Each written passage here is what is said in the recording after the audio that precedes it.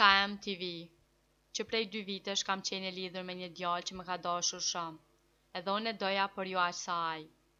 Ne nuk u martuam, por vendosëm që të bashkëjetonim. Lidhja jonë po shkonte për mrekulli, të dy duheshim, shkonim shumë mirë. Kishim shumë gjëra të përbashkëta me njëri-tjetrin. Por ai nuk mund të më jepte dot atë që doja më së shumti në këtë jetë. Një fëmijë. Kur e kuptova, vetëm pas një viti e gjysmë, pasi nuk merrnim kurrë masa mbrojtëse. Për këtë fajësoja edhe veten, pasi asnjëri nga ne të dy nuk e dinte se kush nuk bënte dot fëmijë, vendosëm të shkojmë për të bërë analizat dhe nga përgjigja e tyre rezultoi se ai ishte problemi. Më erdhi shumë keq për të, por njëkohësisht edhe për veten, kur mendoja se nuk mund të bëhesha me fëmijë. Kaluan disa kohë dhe dëshira ime vinte e shtohej. Këtu filluan edhe problemet ndërmjet nesh dhe kështu vendosa të ndahesha prej tij.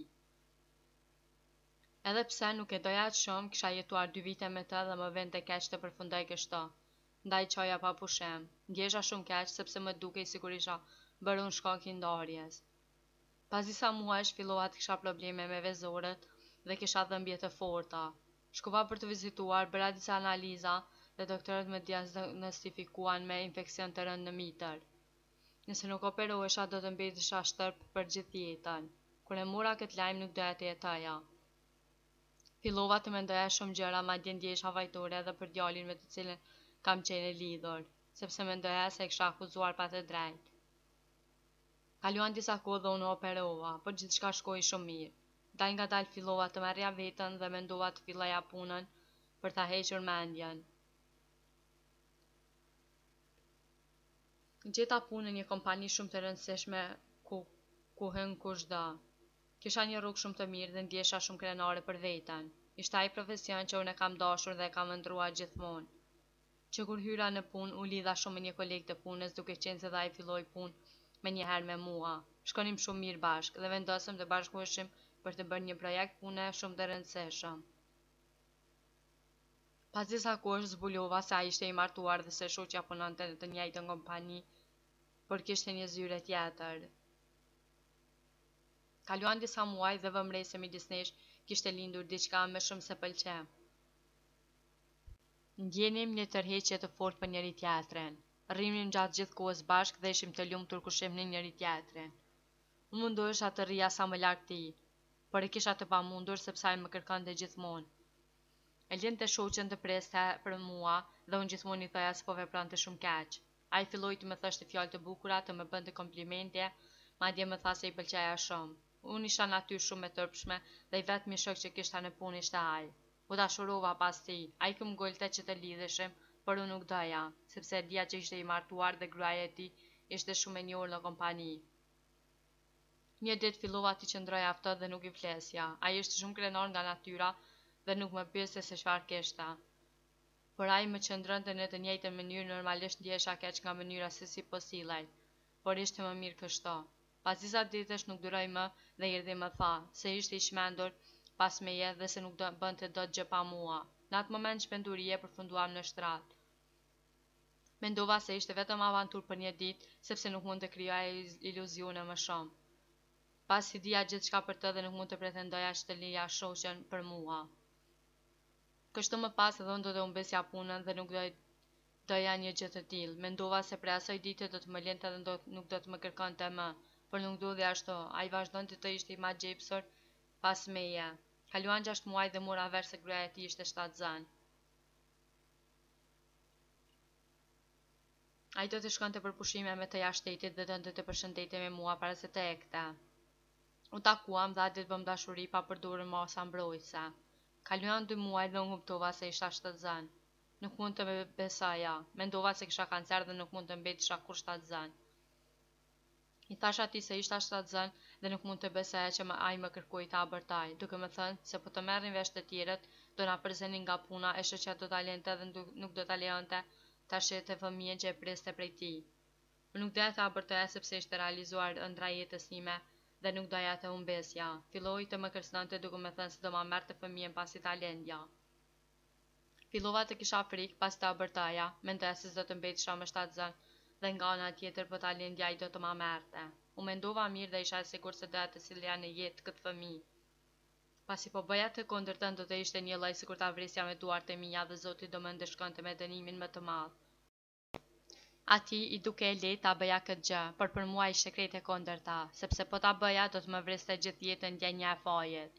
Ai nuk duronte dot të më shihte mua shtatzënë me fëmijën e tij, ndërkohë që me të shoqen shtirej sikur ishte i lumtur. Pavarësisht se ndihesha shumë keq, vendosa të hiqja dorë nga puna dhe të largohesha përgjithmonë prej tij.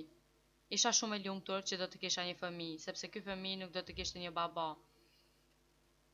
Ishte vetëm i imi. Vendosa të dilja jashtë shtetit dhe shkova për të jetuar e vetme bashkë me fëmijën tim që së shpejti do të lindte.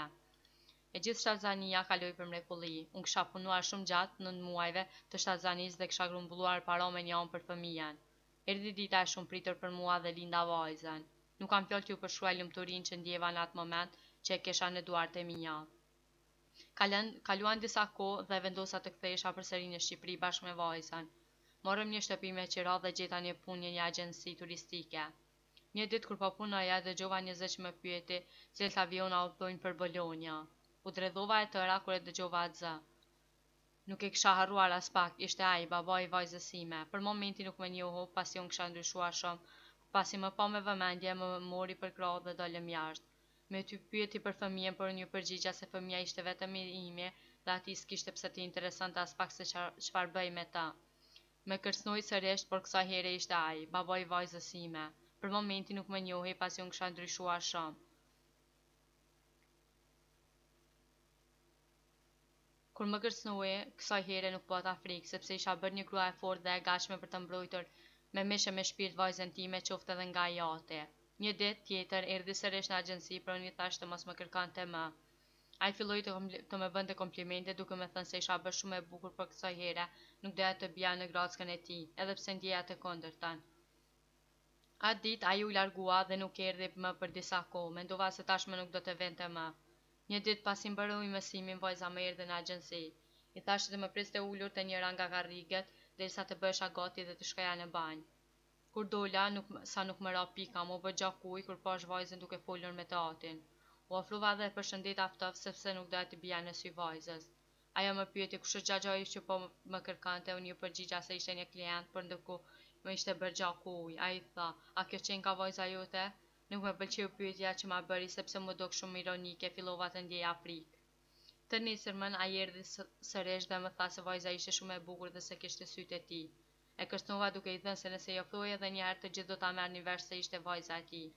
Nga fjalët dukej sikur nuk kishte frikë. Por brenda tij e di që ishte shumë i frikësuar. Më tha që vajza ishte edhe e tij dhe që donte ta takonte. I kujtova se ai nuk e donte këtë fëmijë por më tha që atëherë s'ekzistonte, nuk ekzistonte. Ndërsa tani është ulur këtu dhe donte ta njihte e të rrinte sa më shumë me të. Ai kishte të drejtë, por unë nuk i harroja dot fjalët që më thoshte para se të vente në jetë. Vendosa ta lejoja ai ta shihte, por i thashë vajzës se kurrë nuk do të merrte vesh të vërtetën që ai është i ati. Në një farë mënyre duket sikur ramë dakord dhe ai vinte ta shihte vajzën. Po kur ajo më pyeste për të, unë i thoja që një shok. Një ditë po bisedoja me vajzën dhe ajo më pyeti, Pse të gjitha shoqet e mia kanë baba, kurse unë jo? Iu përgjigja se babai i tij nuk, i saj nuk jetonte më. Por nuk u desh vetë kur më pyeti sërish, Pse ai nuk është shoku babai im? Nuk, ai më pëlqen shumë. Nuk e dija ç't'i thoja, ndjeja e pafuqishme, mezi po e mbaja të çarën. I thashë se Gjergji nuk mund të bëhej babai i saj, sepse ai kishte një familje dhe fëmijë. Vajza u mërzit pak, por pastaj e kuptoi. Ai e donte çdo ditë e më shumë, mbase e lidhte gjaku, ndërsa unë çdo ditë ndihesha edhe më keq se nuk mund, nuk dija çfarë të bëja. E pyeta çfarë kishte ndërmend të bënte, më tha që të vazhdonim ta shihnim vajzën fshetas dhe të mos e merrte vesh askush. Nuk munda të duroja dot më për momentin u hoqa sikur pranova, por më pas mora vendimin të takoja të shoqen dhe t'i thoja gjithë të vërtetën. Mendova se ajo do të mërzitej me mua dhe nuk do të më besonte, por përkundrazi, më ofroi mbështetje si ekonomikisht ashtu edhe shpirtnisht. Ajo më tha se unë kisha qenë një nga shumë viktimat e burrit të saj. Më tha gjithashtu se tashmë ishte lodhur nga mashtrimet dhe zhgënjimet e të shoqit, kështu që kishte vendosur të divorcohej prej tij. Nuk e kishte bërë deri më sot, pasi kishte menduar për të birin, por ishte shkatërruar shpirtnisht dhe nuk mund të duronte më. Më erdhi keq për të, se në njëfarë mënyre edhe unë e kisha zhgënjyer duke e ditur që është martuar dhe nisa disa lidhje me të. Tani kanë kaluar kohë që ai endet i vetëm rrugëve duke shkuar sa te njëra sa te tjetra për të parë fëmijët. Por kjo nuk është jetë, prandaj njeriu duhet të jetë njëqind për qind i bindur dhe i përgjegjshëm për ato që bën, sepse në mes janë fëmijët dhe ata dalin më të lënduarit. kështu që ju lutem të gjithëve të mos veproni si ka vepruar ish-burri im, t'i themi ashtu. Ju falenderoj të gjithëve që e ndjekët historinë time.